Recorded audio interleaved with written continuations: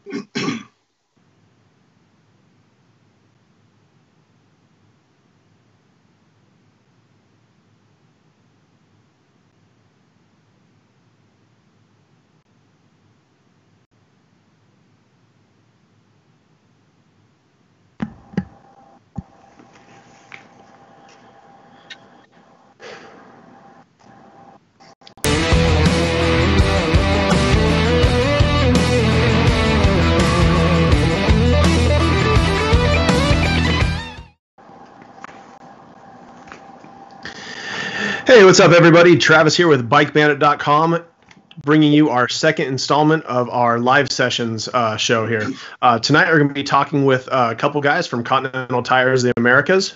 We have uh, Jeff Hill, who is the Western brand manager, and or sorry, Lewis Hill, who is the Western brand manager, and Jeff Reed, who is the Eastern brand manager there. Um, we had a little bit of audio issues on our first attempt here, so if you guys are watching right now, please post up in the comments. Let us know if you can hear us all right. And we're going to jump over and do a quick intro with these guys. So, uh, Lewis Hill, uh, West Coast brand manager, if you can give us a quick rundown of who you are and what you do. Thanks, Travis. Second time's a charm here. Hey, um, so my name is Lewis Hill. I'm the Western brand manager for Continental Tires. And what I do in my job is I work with the distributors on the western part of the country, work with their reps, and some of the key accounts like Bike Bandit. We get in and do training and make sure those guys are up to speed with all of our technological advancements. And uh, just a little bit about myself. I grew up in Florida, dirt bike guy. Started working in a motorcycle shop when I was going to college. A little later on, I started a small distributing company down there, and then went to work for a larger distributor. And I've uh, been in distribution for uh, close to 30 years, and uh, wow. I've been working with Continental for about nine months. That's awesome. Really glad to hear it, and uh, they're lucky to have you over there. All right. And we'll jump over to Jeff, who is the Eastern brand manager for Continental. Been with the company a little bit longer. If you could give us uh, same basic details on yourself there and uh, who you are, what you do, and what you like to do. Sure. Thanks, Travis, and thanks for having us. So, yeah, my name's Jeff Reed. I handled the eastern half of the U.S., basically Texas and East, and pretty much the same thing Lewis described. Work with dealers and distributors, uh, distributor reps, and help and educate dealers. And uh, sometimes we do some consumer events, but uh, making sure people understand and know all the benefits of Continental.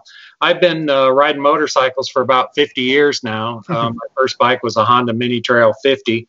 Uh, nice yeah, riding right now, still riding 50 years later on a KTM 450 EXC and a Triumph Tiger 800 XC. So still like to ride.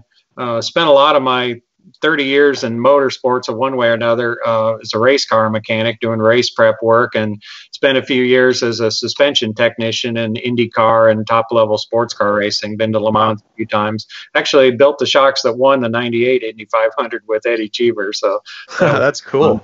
But uh, anyway, so yeah, I've been with Continental about nine years, so great company. That's a that's a long haul over there so far. Nine years is a, a good amount of time for sure. Yeah. Um, is there anything about working at Continental that stands out to either of you that you absolutely love? It's just an awesome company as far as how they take care of employees. So they're real employee conscious and, uh, you know, just really take care of us, look out for us. So uh, just great bunch of folks and a great company.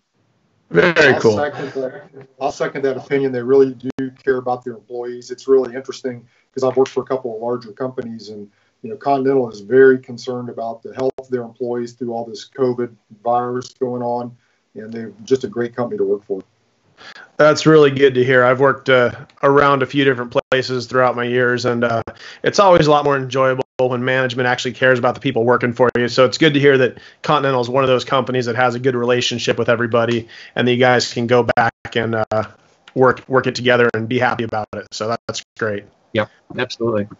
So to start off today's show, you guys sent over a few slides. Um, we're going to go through those, give you a little bit of company history here, as well as a couple other little things. So uh, Matt over in production, if you can fire this thing up, and uh, we'll get going through them. And I'll I'll leave this to uh, Jeff and Lewis here. You guys can go through these and let us know what you think about the slides and give us the details with them. So the first slide is just an introduction slide that we've already went through. If we go to the second slide, we'll talk a little bit about Continental. I'll wait for Matt to change it. So what you see there is a picture of an early Continental factory. It's probably around the turn of the century.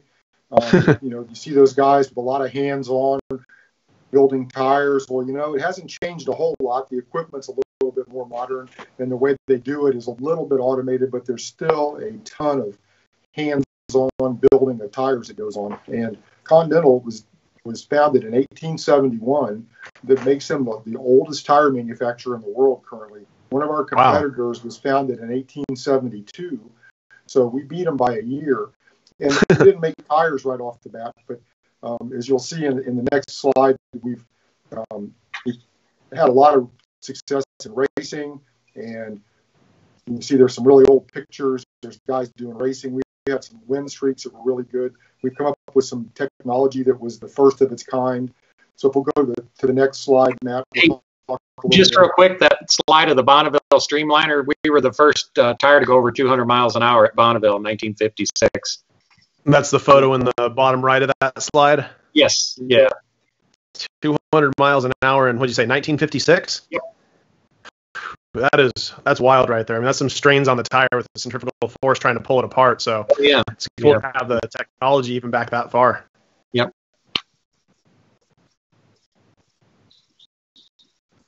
So as you can see, there's there's some of our different logos that we've used, but every one of them has the same thing, a horse. And so the, one of the first products the company made was horse hoof buffers, like a rubber horseshoe almost, to protect the horse's feet and to keep them from sliding in icy conditions. And so uh, also huh. coincides with Hanover, which is where the city they, they were founded at. Hanover's coat of arms has a horse in it. So we've adopted the horse, and it's been with Continental the whole way through. Very cool. What uh, yeah. state or country or whatever is Hanover actually in? Where's Continental based so, out of? So Continental is a German company. We're very proud of our German engineering and German heritage. They are mm-hmm. the technology that they produce is second to none in this factories. If you go to the next slide, there's a few different bullet points on some things that we've done as a tire company. So you can see in 1901, we first were the first tire company with Mercedes Benz. So they put those tires on and they did a race record. It seems kind of crazy now, but it was. Um, like, hey, Lewis, can you uh, talk a little closer to the microphone yeah, there? It's a little sorry. faint still. Sorry about that. That's all right. I got to just make a quick adjustment here. So um, you can see they they did um, 414 kilometers in six hours, which which is not very fast by today's standards, but back then in 1901 that was tremendously fast. Um, nice. We also Continental introduced the first car tire that actually had a pattern tread to it, so that it had better traction. They um, they invented the detachable rim for a sedan. So previous to that, the whole rim and the hub and everything had to be taken off to change the tire. And then they produced a, a rim that would just come off, and it was a lot easier for them to change tires. And you can see, I'm not going to read every one of these, but you know, we were on the first airplane to cross the English Channel. Our material coated the wings and the fuselage. It, it's just amazing some of the different things. Um, we actually got the first patent in 1943 for a tubeless car tire. Wow. So, you know, some, some really interesting first. 1960, we put an R designation on radials. That became the worldwide standard. So everybody's radial has an R on it, so you can see that it's a radial nowadays. Hmm. 1968, we actually introduced the first electronically controlled driverless car. So, you know, everybody thinks about the Tesla with autonomous driving. Well, we were working on it back as far as 1968. Wow. That's a, a little little while ago right there. It's cool that you guys were working on that technology that far back. Yep.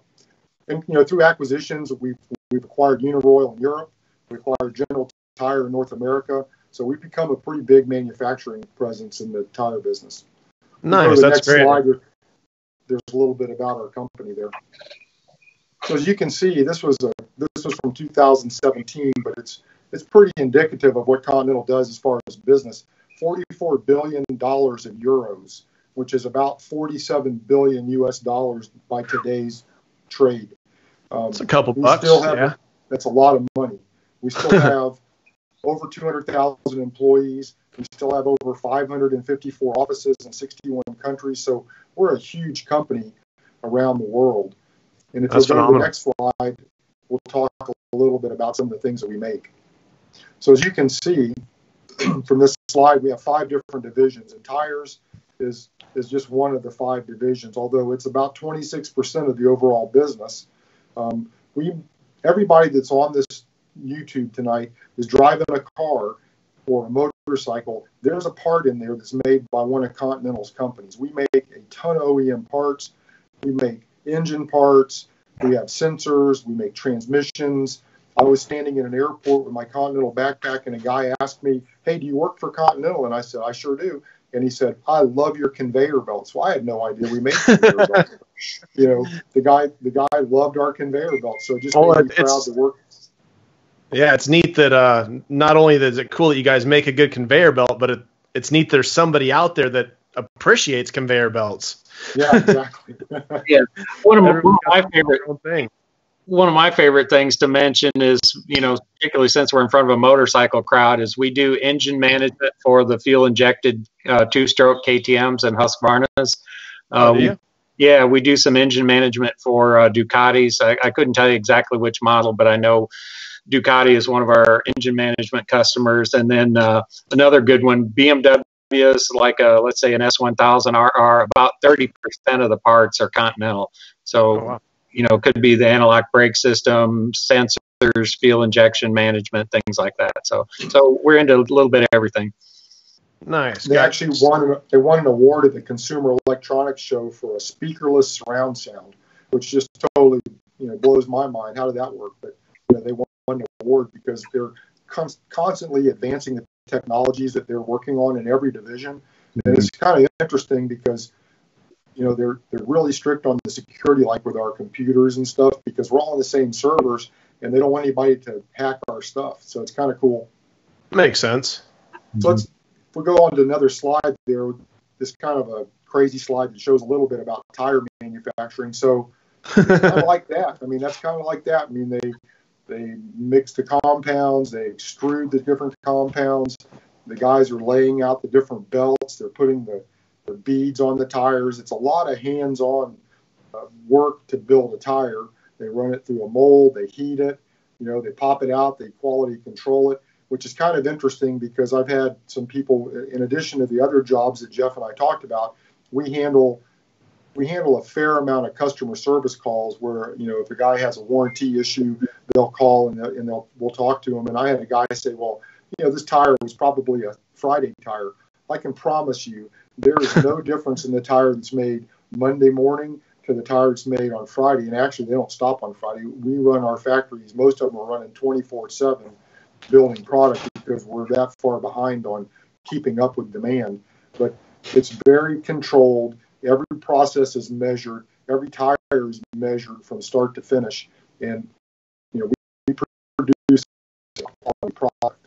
So you'll you know you'll see that uh, a little later. We'll talk about some of that stuff All right. So audio seems to be doing pretty good across the board right now. There's a couple guys on YouTube saying it's kind of glitching in and out. I know YouTube was down a little bit today. Um, so if you guys are watching on YouTube right now, the stream on Facebook is crystal clear, great audio. So just want to throw that out there. If you guys are having trouble hearing us on YouTube, uh, you guys can hop over to Facebook, catch the show over there, and everything is working perfectly fine on their site right now. Um, sorry to interrupt you there. We'll No, jump back okay. over to the next slide, but how actually go- uh, question fast. for you? How many Sure. uh, different factories do you guys have approximately that are producing tires for you? Oh, you If you don't mind, it might be proprietary information. I don't know. Yeah, it's not. But I don't know if we actually even know. I mean, motorcycles are made in a few different ones, but they have car tire factories all around the world too. Yeah. Okay. Yeah, car tires and uh, commercial vehicle tires. Um, you know, I know we have several plants here in the U.S. and of course throughout Europe and uh, Asia Pacific. So we're we're pretty much everywhere. Yeah, that, that's a good point Jeff just brought up. We, we make not only passenger car tires, we make earth mover tires, tractor tires, anything that's got a pneumatic tire on it, we're probably making it. In addition to that, a lot of the guys that are on this watching this this uh, show, they have bicycles. Continental's the number one bicycle tire manufacturer. We Yep. sell more bicycle tires than anybody else. And if you've ever ridden on a Continental bicycle tire, you'll know why because it is a phenomenal product. Yeah, I actually have some on my road bike, so oh, cool. Yeah, we were Tour de France winner. I think last year or 2018. I think it was three of the top five and three of the top five again in 19. So including the winner. So when it comes to street bicycle, we're the kings. Yeah, it's cool to have such a just broad thing, broad amount of things that you guys do. I mean, in the tires, you're hitting every segment, but then learning that you guys do car parts, engine parts, engine management, and my TPI KTM downstairs, and Yeah. on and on and on. There's so many different little things that you guys are into, and it's it's really neat to hear the company is growing in so many different directions rather than just rubber, which is what I assumed. Yep. yep. Yeah, they told me when I first started a few years ago that if you drive a modern car or truck of any kind, chances are better than not there's a Continental part. Very cool. Yep. So what do we have up on this slide right here? It looks like core technologies. Some, we have, yep, we have some different core technologies. Some of them are, are things we're really proud of, like our multi-grip uh, uh, tire. And, and, these technologies are not on every single tire we make because some of them may be a bias tire, some of them may be a radial tire, um, some of them because of the construction we can't use them on that particular tire. But like multi-grip is a process through which we use a single grip tread tread um, compound. And through our process of curing and heating the tire, we actually make the center of the tire harder so it gets better mileage, and the sides are soft. So you get hmm. Great, you know, great handling when you're in a corner, but when you're going down the road straight, you get better mileage. Now, there's some other companies that do this, and they do it through using two different compounds in their tread. But when you do that, when the tread is when the tread is in the mold, it has to heat the tread up and push it around the tire, so you get those two compounds kind of going together, like you know, like my fingers are here.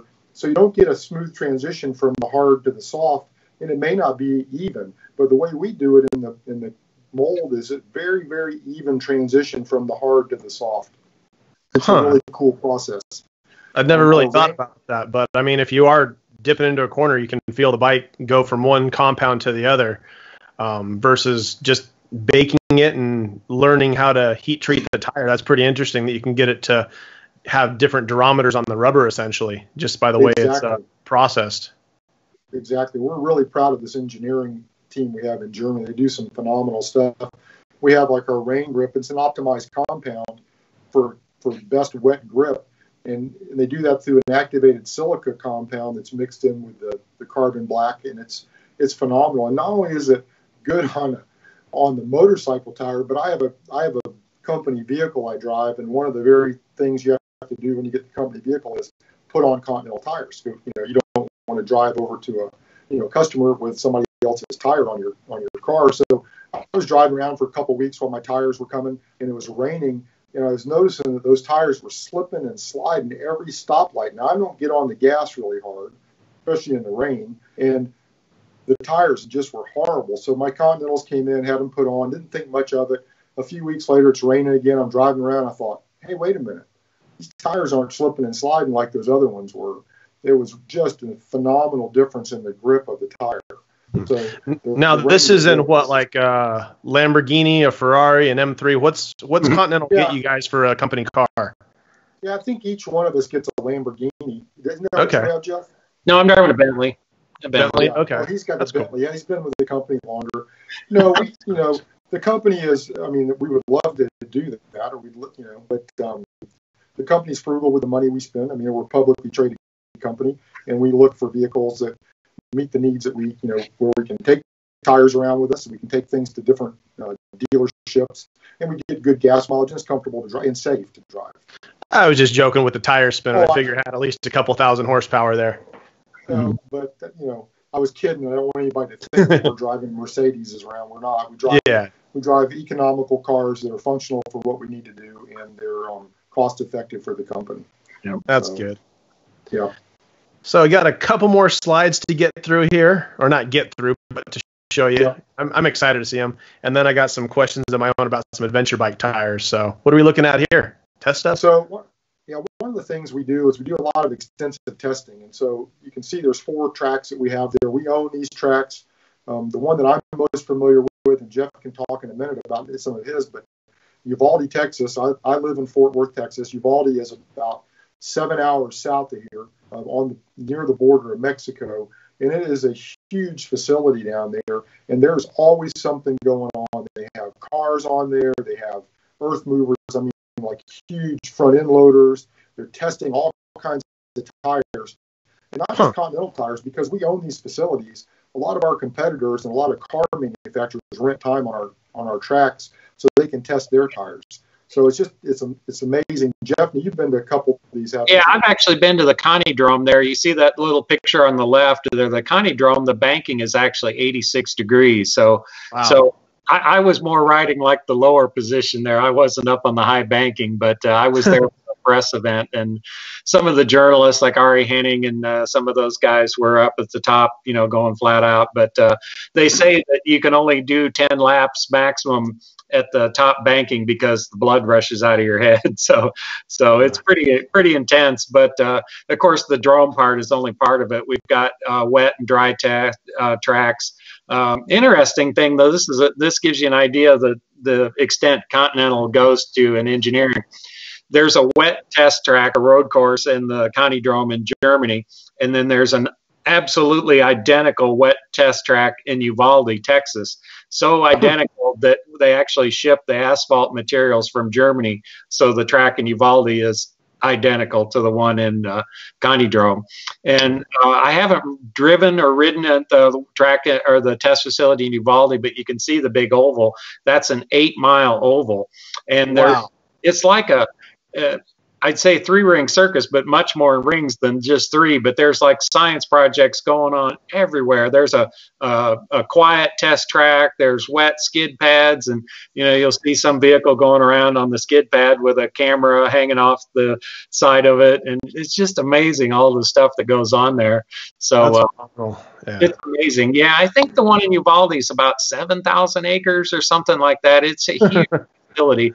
Off-road tracks, uh, you know, of course, we are general, so which is really big in off-road vehicle tires. So there's off-road tracks besides all the on-road stuff. So pretty amazing stuff. And like Lewis said, you know, gosh, Audi will be there testing and Volkswagen. Uh, you know, uh, one when I was there at the Conti-Drome, some of the European truck manufacturers were doing wet track testing. So there's these semi trucks going around the wet tracks. It's pretty amazing. But uh, that's neat. Yeah, it's fun. Yeah, I was going to ask another... how big that oval was. So eight miles. That is just insane. Yeah. Um, I remember watching an older episode of uh, Top Gear where uh, I believe it was Richard Hammond or mm-hmm. one of those guys. Ha- they had some supercar trying to max it out on speed. They were on one of those giant ovals, and I'm just like going, "Where the heck is this place?" And oh, I, I remember that episode. Yeah. Yeah. Hitting 200 something they, miles an hour in a production car. Something else absolutely crazy. The, the bikes that they test in Europe, they actually fly those same bikes over to Uvalde and test the same bikes in Uvalde. Really? Just so that their test results are identical. They, they can see exactly what they're doing. Hmm. It's interesting. Else, an, an interesting fact, another fact that I forgot to mention is a third of every car in Europe has Continental tires on it. Wow, that's something to be said right there. Yeah, it's a lot of a lot of cars. All right, and Matt, if you could pull up the next slide, please. So this is our new Sport Attack 4. This is our new uh, premium hypersport tire for the guy that wants to do, um, you know, a hypersport st- tire on his street bike, but maybe does an occasional track day. Mm-hmm. We would call it like, let's say, a 90% street, 10% track tire. So it's got a, uh, the latest version of our, our high tech compounds. We call it black chili. So it's a real uh, good combination of silica, but also with the racing compound carbon black. So it's a tire that holds up really well in heat, but still has a quick warm up and excellent wet weather traction. Uh, nice. We're always working on the profile to you, you got to profile has a lot to do with how a tire feels. You don't want something that's too angular that makes the bike feel like it falls over into a corner. So it's a good profile design for very responsive, but also puts a big fat footprint on the ground at high lean angles. Handling and agility is something we always build in to. We always we're about enjoying the ride. So we have a always build a tire that's pleasant to ride. So it's very mm-hmm. agile and precise. Super quick warm up time. That's probably something we're best known for. Of that and wet grip. So we've got uh, in fact, this is fun. We win a lot of the magazine tests. You know, in Europe, the magazines do a lot of tire tests and uh, you know tire shootouts, and we're always, if we don't win, we're at the top. But our latest stuff always wins. So super good wet track, uh, wet weather um, handling, and uh, of course, like I mentioned, it's suitable for hobby racetrack use uh, without tire warmer. So, and on the right, you can see all the core technologies. Of course, these are handmade in Germ in Germany. Has a zero degree steel belt. Uh, the traction skin, pre-scuffed surface, uh, the rain grip compound, the multi grip technology, uh, which is that harder in the middle, softer to the edge done in the curing process. And then mm-hmm. that last little logo is a little hard to see, but it says grip limit feedback. So what that means is we build a tire that both compound and uh, carcass construction work to make a tire that's very predictable. So a lot of times you could have a hyper sport type tire with a real stiff carcass and it's um, you know turns really precise but it feels kind of numb. So when you're at the limit you can't really tell where the limit is. And then the next thing you know it's a low side. Uh, these tires are very predictable. So um, we call it grip limit feedback. So that's built in on purpose to give the rider a real feeling of confidence so he can tell when he's close to the limit. So, that's great. I mean a tire in this segment right here, which is going to be something you can do some light commuting on, but it's going to be good for going up, tearing up some canyons on the weekend, um, and it's going to fit that intermediate to fast level rider for a track day also without getting too hot. Um, yeah. So I mean, a tire like this seems like a really, really popular segment for most of the riders out there. And mm-hmm. the fact you said it's uh, pre-scuffed in also. Yeah, that traction skin, that rough surface that Lewis mentioned earlier, the purpose of that is, you know, normally a tire has a shiny surface to wear off to get maximum mm-hmm. grip. With a traction skin tire, um, why there is no shiny surface to wear off, so it's essentially pre-scuffed, so they really come in very quick. Is that something that's molded into the tire, or do you guys yeah. sand it on something before you ship? No, so it is molded in. Mold process, yeah. Very cool. Actually, we skipped over that slide, Jeff. They, they kind of went by it. So oh, okay. That's a good explanation. It, yeah. It's in the mold, and, and it makes us not have to use the releasing compounds that some of the other tires have to use. Yeah. Okay. So it's almost like a mold release that's causing certain competitors' tires to be a little slick as you start to run them in. Yeah. Well, it's hard to get a tire out of the mold if it's not um, well, I'm not an engineer, so I'm not going to get into it. But anyway, the the traction skin is in the in the mold, and it comes out with a tire that's essentially pre-scuffed and ready to ride. Yeah, very cool. I always love learning little stuff like this. Like, I'm not a huge sport bike guy, but the technology that goes into this stuff, because I know some of it transfers over to off road also. It's oh, so sure. interesting. I don't I don't care what it is. It's just I love that companies put the time and energy into doing this stuff, and it's so neat to see mm-hmm. what comes about it and how you can develop something to make it even better and better. So yeah, yeah definitely cool. neat stuff. You know, I forgot to mention, but one of the companies that's under the Continental umbrella is Hoosier Tire. Really? Yep. Huh. So if you go to the Supercross races, you've probably seen them in the pits because they're starting to make some some knobbies for dirt bikes. Some very very light tires, from what I understand, also. Yes, they are. Well,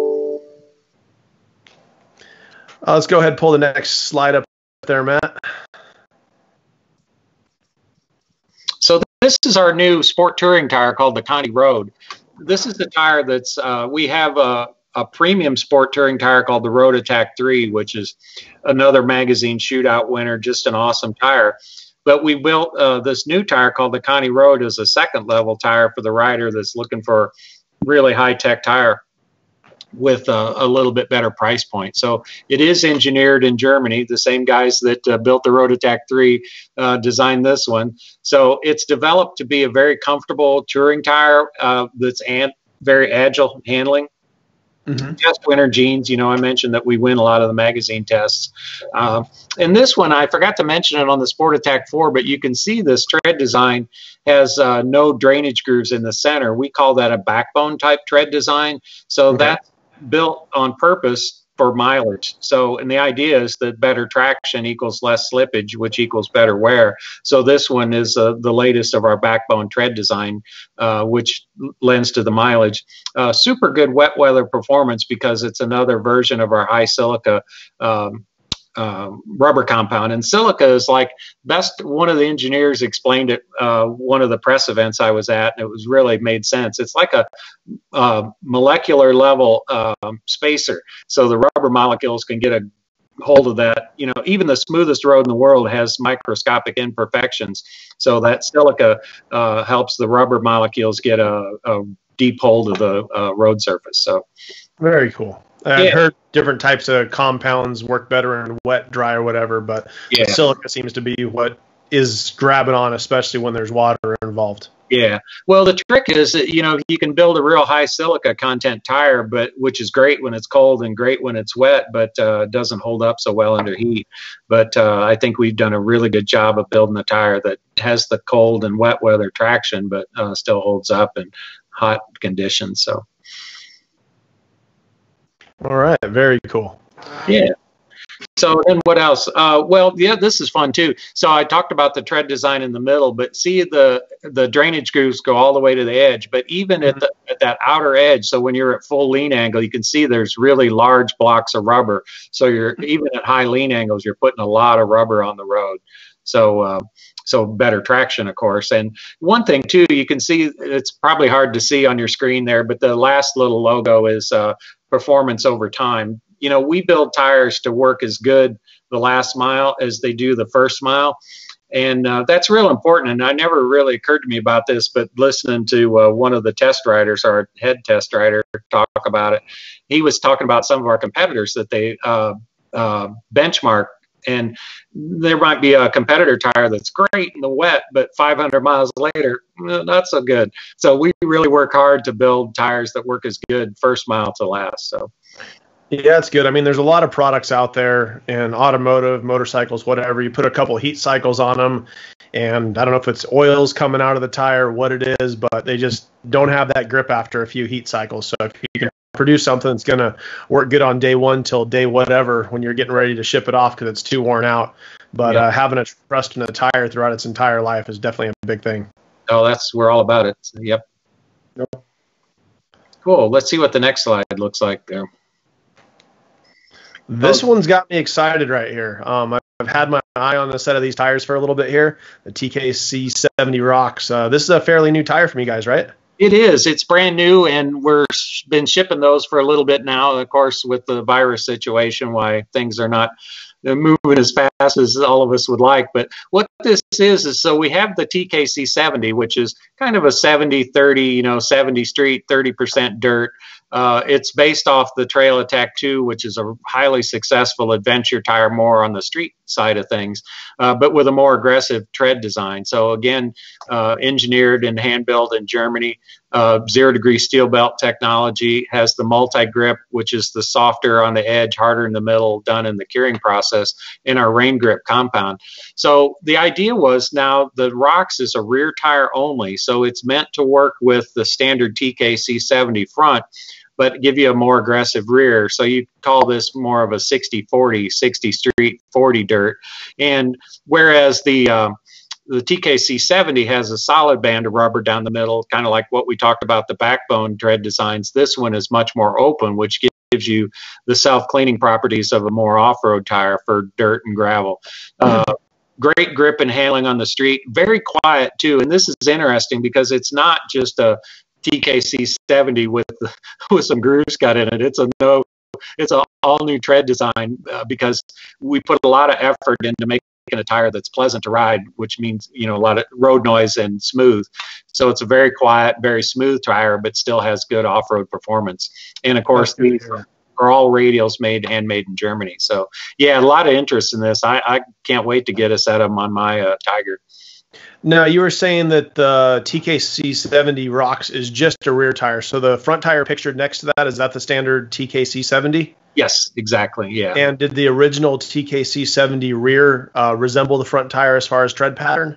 No, it's a bit different. It, it would be similar to the 70 Rocks, but imagine a um, solid band down the middle without okay. the, the uh, individual blocks.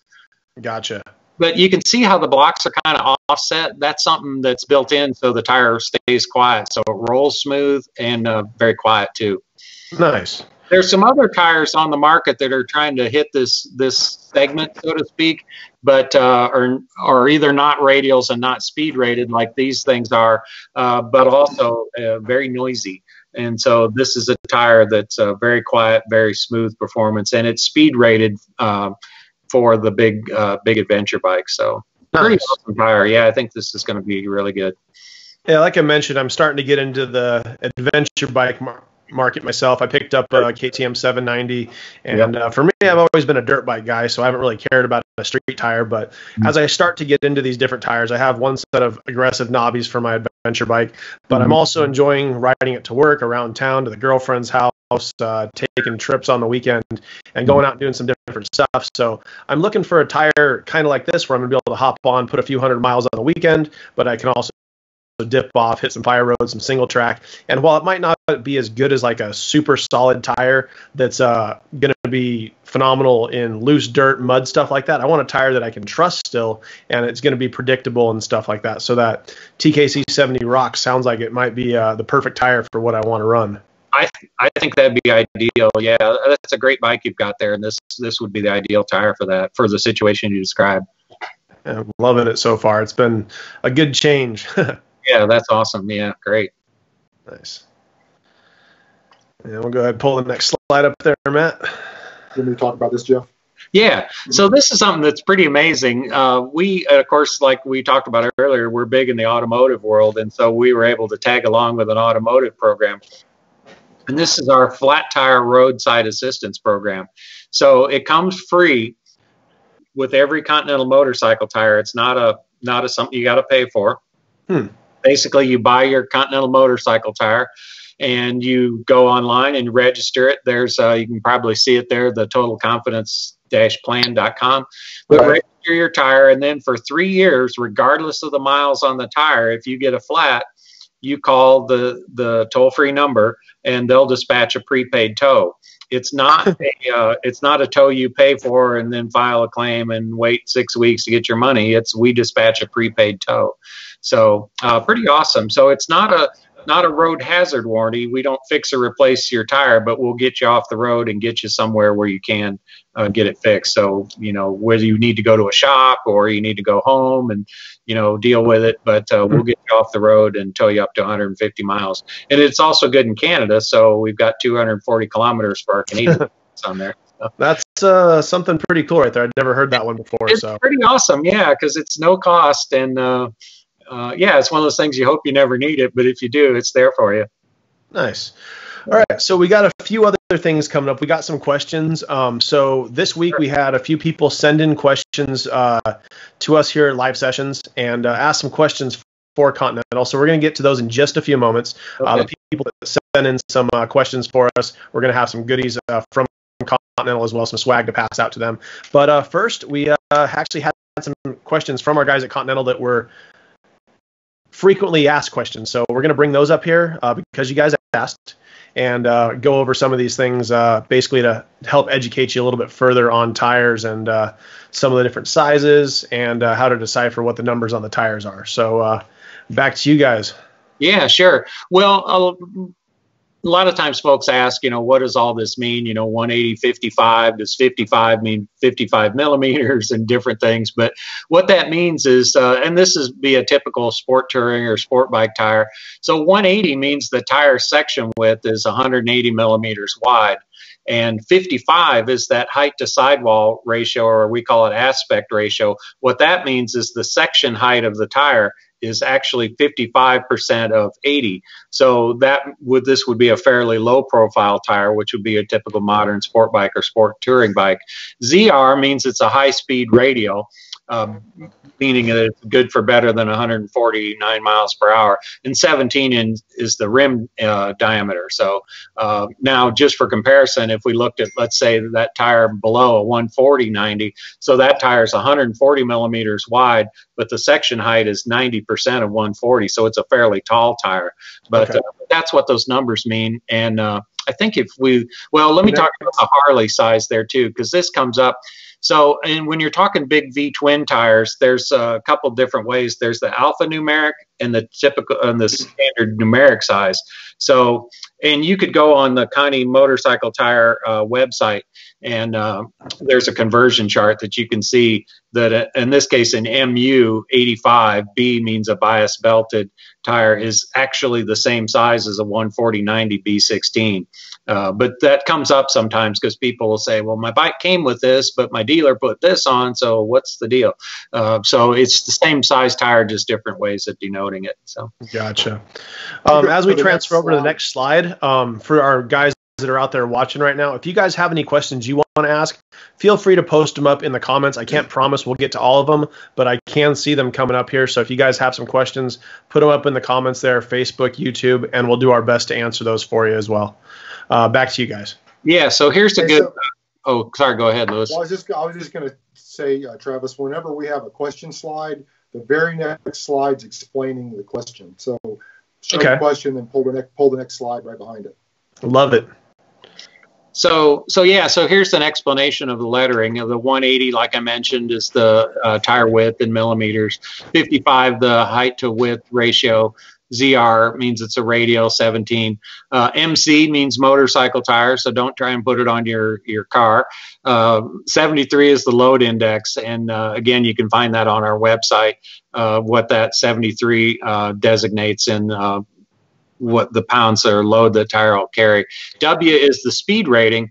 And so this means this tire is good for 168 miles an hour, but you'll notice the W is in parentheses. So when you see that parentheses, that means it exceeds that. So this tire is good for carrying that given load rating for um, better than 168 miles an hour. So, wow. Uh, yeah, for an hour. And then, of course, says it's a Sport Attack uh, 3 uh, made in Germany, and brand name is Continental. I like it. Yeah, so it's good stuff. So, well, I think it's always good to know what all that stuff means. So, you know, so you'll know if you're getting the right stuff, or it's uh, just educated rider's a better rider. I think so. Definitely, I've picked up a few things on date stamps and how to read tire sizes over the year, but it's always interesting yeah. to pick up a couple other new new things along the way. Sure. Let's see what our next slide looks like. And these are questions that we get frequently all the time. Yeah. Oh, this is one of my favorites. So the tread on my tires look backwards compared to the directional arrow. Is there something wrong with my tires? And that's real common on uh, certain ones of our tires, but also other manufacturers too. And the reason is is the front tire does a really different job than the rear tire. So the front tires tread designs typically look like they're going this way, and the rear they're kind of going this way. And that's because the rear tire is following the front. The front is kind of clearing the path through the water. Uh, front tire does most of its work under braking. Rear tire does most of its work under acceleration. So. Mm-hmm. Uh, there are directional arrows molded on the tire that tell you which way to, the tire should go rotation. So so people say well gosh you know this tread pattern looks backwards to the arrow. No that's that's how they are and not just with ours but with all all brands of motorcycle tires. But looking at this other lettering stuff here, there's some other stuff. TL means it's a tubeless tire, meaning it's intended to run on a tube tubeless rim without a tube. Uh, TT means it's a tube type tire that needs to be on a tube type rim with the tube. Uh, and then uh, the tire position and direction we kind of already covered. Tread wear indicators. Um, all tires have them, and you'll see it depends on the brand of tire, but sometimes it'll be a little picture or uh, sometimes it'll be a little arrow. And I think most of ours are TWI, meaning tread wear indicator. When you see that stamped in the sidewall, you can follow that across the tread surface and see the tread wear indicator down in the grooves. So okay. when you're down to the tread wear indicator, it's time for new tires. So gotcha. Um, now I actually have a question myself on here versus tubeless tires versus a tube type tire tire. Mm-hmm. Um, being an off-road guy, I like to run. Well, I run mousse, which is a foam in a lot of my stuff, or I run a tubeless system, which is a mm-hmm. chambered air. But what are your thoughts on putting a inner tube in a tube type, or sorry, in a tubeless tire? That's actually a question we have coming up in another slide. I will uh, retract my statement, and we'll get to it when we get well, there. It's a good question. Else, it comes up a lot. Somebody else has asked it also. I can see on on Facebook. So yeah. Oh, yep. Kyle Bradshaw. I've heard that name before. yeah. yeah. Sounds like a sketchy type of guy. Probably. so uh, Kyle Bradshaw asks, lots of big adventure bike tires are tubeless now, uh, mm-hmm. and I don't think he knows how to type, but uh, can you use same thing I asked? Use tubes with a tubeless tire. Yeah. You want to just go ahead and answer that now? Yeah, that's right. Yeah, so you can you can put a tube in a tubeless tire if it's on a rim that's meant to be um, run tubeless. So, you know, because there is a difference in the bead area where on a tubeless versus a tube type. But where it comes up very often is, uh, let's say you've got an old, uh, I don't know, an old airhead BMW with spoked wheels, and we have a tire called the Classic Attack, which is a modern design radial intended for old bikes. And so typically, a consumer will get a hold of us and say, hey, you know, I got this bike that it's got spoked wheels and supposed to run tubes, but I want to run your Classic Attack. Well, you can run a tube in a tubeless tire on a tube type rim. You cannot run a tube on a tubeless tire on a tubeless rim because the bead area is different. So, um, huh. But anyway, it's a little complicated. But uh, but yeah, typically you can run t- well for my Triumph Tiger, for example, I've got uh, tube type rim, so it's a spoked wheel bike that's intended to run tubes. But I've got TKC80s on there that are tubeless tires, but uh, I'm running tubes in them. The difference between tubeless and tube type, the tire itself, is the butyl rubber airtight liner. So, like you mentioned, uh, one of those systems for dirt bikes that uh, lets you run tubeless. It's still not a tubeless tire, uh, so air would theoretically does seep through, yeah. Right, would leak out through the carcass. But you know, in a dirt bike situation, well, I'm sure you're checking it fairly often. But uh, but yeah, I wouldn't recommend those for street use. Um, but uh, but yeah, so you can run a tube in a tubeless tire uh, on a tube type rim. All right, yeah. So on my 790, when I had my stock wheels, I didn't have a good set of Excel off-road wheels yet. Mm-hmm. I basically the, the bike came tubeless. It was sealed on the inside around the spokes. I just right. pulled out a knife and cut out some of the tubeless stuff and drilled a hole for a valve stem in there. Yeah. And stuffed the tube in with my tubeless tires. So Yep. It seems to be holding up too good, but you're telling me that's probably not the best idea. Probably not the best, but I I'm not that familiar with the rim on the KTM's, but um, you know, but it seemed a little deeper in the center than I'd yeah. seen in the past with off-road wheels, but we'll see what happens. All right, let's uh, pull up the next uh, slide there, Matt. Oh, this is a good one because this comes up a lot. So, uh, so all tires, and if you go to the next slide, you'll see. Um, I think we got a picture. Yeah. So it says uh, the uh, air pressure is 42 psi. So people are like, well, should I run the 42 or my owner's manual says 36? Well, we always defer to the manufacturer's owner's manual, but know that that number printed on the sidewall is where the tire achieved its maximum uh, load speed index at. So for maximum load carrying capability, then yeah, use the number on the sidewall. Uh, for maximum comfort, run what the owner's manual said. Now, in most cases, you know, a typical sport touring bike or sport bike, it's I haven't seen one yet that's not 36 psi on the front and 42 on the rear. Uh, hmm. I'm sure there's an exception, but most of them are 36 front, 42 rear, and most tires are, are printed 42. So yeah, so you're running the same thing. The front, you know, 36 when the owner's manual, 42 um, printed on the sidewall a lot of BMWs, you know, tend to be hard on tires, and a lot of the BMW guys find that they get better mileage running at 40. So, um, so yeah, you kind of got to assess your situation. But we always say the owner's manual is recommended, but uh, maximum load at the number on the sidewall. Gotcha. All right. oh, this is a good one too.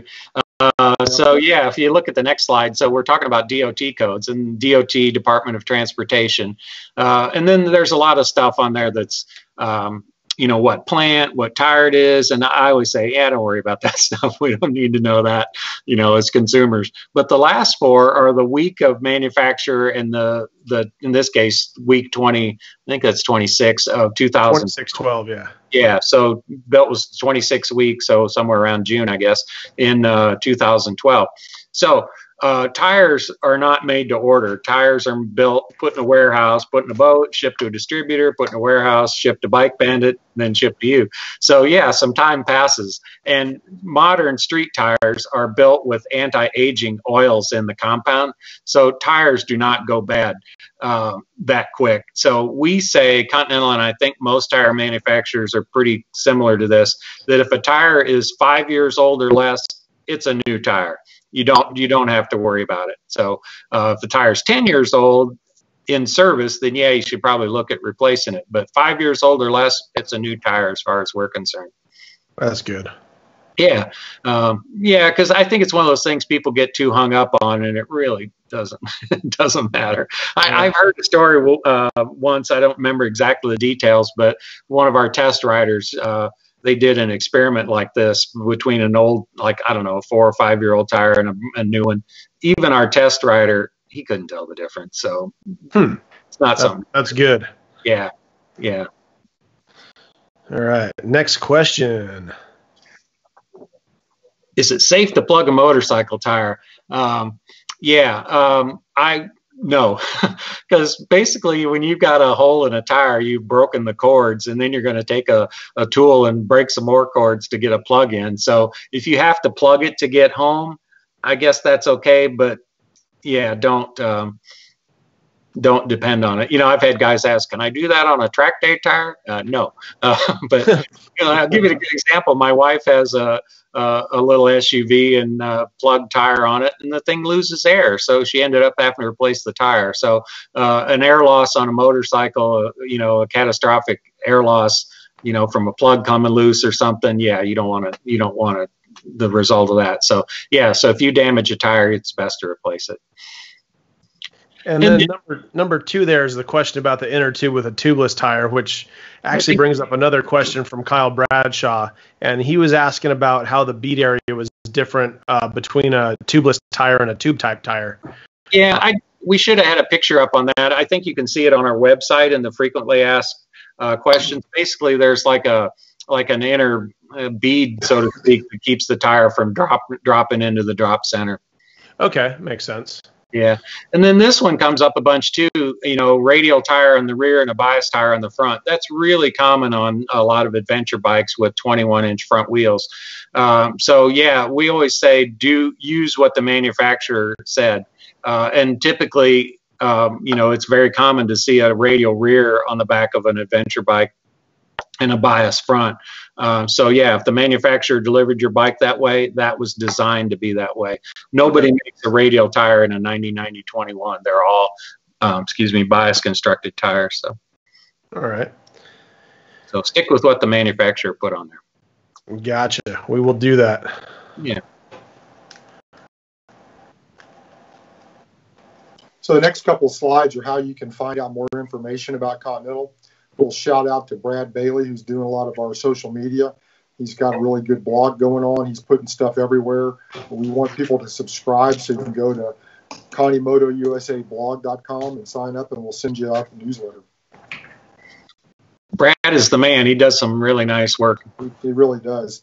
And we have Facebook presence. We have a YouTube channel. We have Instagram also. All right, nice. Yeah, I've kind of browsed around that a little bit this week. Uh, checking into it and seeing exactly what you guys are putting up there. And there's some really nice quality content. So if you guys are looking to read up on some tires and see some different stuff that Continental's involved in, I highly suggest you guys check out those uh, sources there. Yeah, we just put up. Uh, Brad did a Brad and I did a series of videos that basically from my garage here, answering some questions, looking at some tires and such. So, um, so yeah, pretty pretty good stuff. So nice.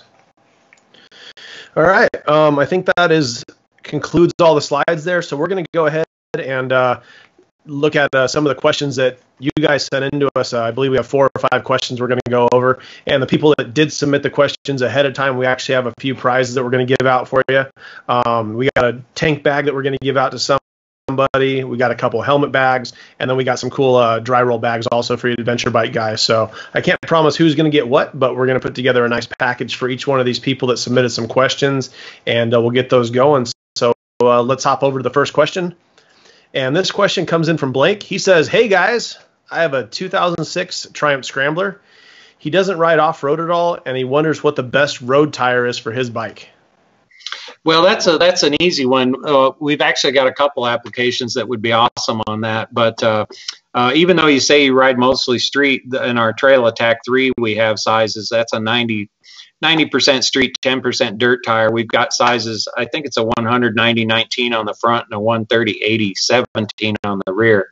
So we've got those in the Trail Attack three, but also the Road Attack three. So we've got a couple options for that bike. Nice. Awesome bike. Those are a lot of fun. And then if he has that little 90 10 tire and he decides he wants to go ride off road or go camping for the weekend or something, it'll be a, dirt be a good fit for him. Yeah, absolutely. All right. Question number two. This one was sent in by Ken, and uh, Ken says, I just purchased a DL 1000 V-Strom. I'm looking at a more adventurous tire. I'm wondering why we lose wet grip on the more aggressive tires. I think with the larger grooves, it uh, would be better for displacing water. Yeah, that sounds kind of odd to me, but uh, I'll let you guys answer that one. Sure. Well, that's a good question. And not knowing what brand of tires he's been on, it's hard to say. But he is correct that the larger grooves make for a lot of water drainage, which would typically work really good. But the compound itself has a lot to do with it as well. So that's why we put a lot of effort into, you know, we talked about the rain grip compound and stuff. I've personally ridden uh, my Tiger 800 on TKC 80s in some pretty intense rain, and, and it's fine. Uh, in fact, it was fun because some of the guys I was on the trip with were like, I can't believe you're riding those knobby tires in the rain, but it really worked good. Uh, so it depends on the tire. Compound has a lot to do with rain grip besides the tread. So uh, without knowing what tire he's um, riding on. I know like our Trail Attack 3 was one of the top rated tires uh, in the wet by Motorrad magazine, um, and so as well as the TKC 70. So uh, there's a couple of options for him. Nice. Well, hopefully he gets off whatever's not working for him and gets on a tire that's going to suit his needs a little better. Yep. All right. Next question, number three. So this one was sent in by Tom. Uh, Tom says, I currently own several styles of street bikes, uh, ranging from a 250cc to a large Kawasaki Concours 1400. All these bikes require different tires. I know that different tires are for different styles of riding. He loves the twisties and the confidence from a good tire. I try not to ride in the rain, and he does not do track days. I've been using a competitor's tires for most of my sport bikes. Mm-hmm. What type of tires give the best performance and mileage without breaking the bank? There's a lot. yeah. So, so, well, he's got quite a range there. So on the small 250 bike, let's. I'm just going to assume that it's a uh, like a Ninja 250 or you know CBR 250 or something. And in our ContiMotion line, which is our price point sport touring tire, it's an excellent mileage tire, zero degree steel belt a really good tire, and we make those in the sizes for the little sport bikes.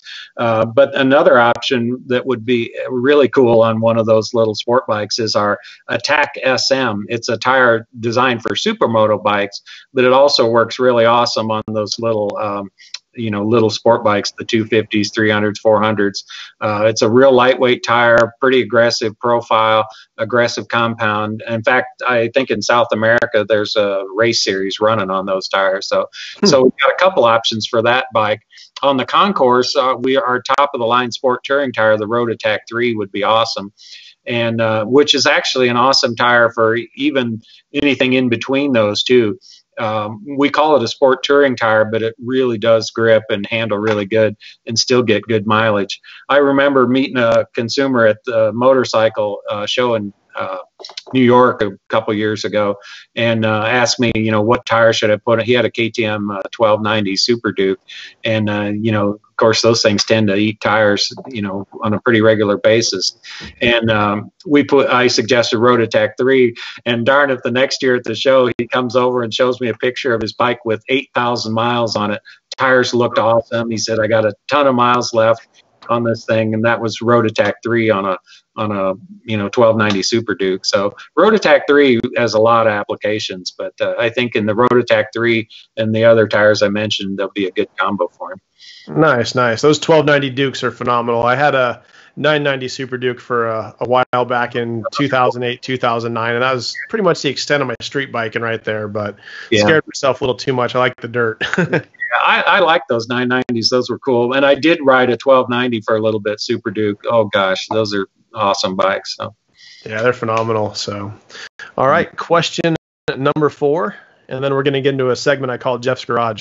okay. All right. Uh, question number four comes from Mark. And uh, Mark says, I used to have an adventure motorcycle, and he ran TKC 80s on it. He went to a rally in North Carolina a few years ago, and a rep from Continental was there to let us know about the Continental's dual tread concept for their touring tires. He's since sold that bike and bought an F6B and will need to replace the OEM tires on his F6B. He couldn't find any tires at all for that bike. Will Continental be making tires for cruisers, especially those who like to hit the twisties, override, and the super slab? Yeah, great question. And, and, if he went to a rally in North Carolina and met a Continental guy, that was that was me. Uh, unfortunately, now we do have a really good cruiser tire, a big V twin tire line called the Conti Tour, which is a great mileage tire, phenomenal handling, good wet weather performance. But we don't do a tire in sizes for the F6B, which is basically a Goldwing variant, and it uses a, kind of an unusual size. It's a 180-65 radial 16. Uh, pretty similar to what an 09 or newer uh, Harley touring bike would use, but not the same. So we really don't have a tire for that bike as much as we'd like to. Now we are seeing more applications for that tire. Some Indians use that, and of course Goldwings up to the new version use that tire. So um, never say never, but unfortunately we don't have a tire for him right now. All right. Well, I'm sure there's something out there will fill his needs until you guys decide to make something if that time comes. Yeah, so as we uh, did a little pre-meeting the other day, we started poking around in your garage behind you there, and uh, it's a little dark, can't see a whole lot, but uh, we got some slides from what I understand, and uh, you have a couple BMW uh, GSs back there that have a pretty cool story on them. Yeah, I don't. Yeah, since the lights, since the sun's gone down, but uh, but so Simon and Lisa Thomas that call themselves Two Ride the World. It's a husband and wife team that have been around the world for. Well, they left home in 2003 and they've been back. So um, they got on the road. They planned the 16 month trip, and they ended up uh, staying on the road. Had their parents sell their house, put the money in their account, and they've been on the road ever since. Well, they were in town a couple of years ago for the Overland Expo here in Asheville, North Carolina area, and uh, so they needed a place to keep their bikes for a while. And I've got room in the shop, so um, so here they are. Maybe I can turn a light around, and you can see there's Lisa's bike, the uh, the, oops, that's my bike. Uh, anyway, so there's a F800 GS and a R1200 GS that have been around the world, uh, sitting right here in my garage. So, how many uh, miles you say they have on them? Well, uh, the bikes, I think these have a couple hundred thousand on them, or maybe a hundred something. But they've done uh, in their journeys have done over 400,000 miles, and all of it maybe except I think he said it was 99% of the time, and he tracks it on his GPS have been on Continental TKC 80s. And the reason they use the 80 is because it works so good on the street, but is able to get them through the rough off road stuff. And if you guys uh, watch and go to their website, twoRideTheWorld.com, and you can see some of their adventures. And it's amazing they actually survived it. But uh, but yeah, TKC 80 is their tire of choice, and That's they get phenomenal. pretty phenomenal miles out of them too. So it's uh, um, yeah, there's you can kind of see Lisa's uh, 800 sitting there, and then there's my KTM and my Tiger sitting there. But uh, but anyway, it's kind of interesting to have some bikes that have made some significant history, taking up space in my garage. that's phenomenal, right there. Yeah, kind of funny. So, guys, that's pretty much going to wrap up everything I had laid out for today's show. Um, is there anything else you'd like to add or tell to our uh, fan base through the Bike Bandit channels? We just appreciate you guys inviting us on. This is a really cool platform. Yeah, this is fun. Thanks for having us. You know, we get paid to talk about motorcycles. What a deal! You know, this is fun. I'm right there with you. I love doing these things. So yeah. So and it was fun. You know, seeing the interaction from the folks and uh, yeah, hopefully everybody learned something. They'll next time they need tires, they'll uh, give Continentals a try. Yeah, definitely. And if uh, anyone watching this uh, not live wants to leave something in the comments, we'll do our best to answer those questions for you. And uh, you guys are also always welcome to email Continental. Um, give them a call if their phones are up right now. I'm not sure what's going on with the whole COVID thing, but I'm sure they are very eager to answer any questions you may have. Um, you can also call us at Bike Bandit, and we'll uh, do our best to get that stuff answered for you. So anyway, guys, um, I'm Travis Brock with Bike Bandit for live sessions. Uh, I want to give a huge thank you to Lewis Hill and Jeff Reed for joining us on the show tonight, and uh, hope you guys all have a good one. Get out and ride. Thanks, Travis. Thank you. Have a nice, have a nice day.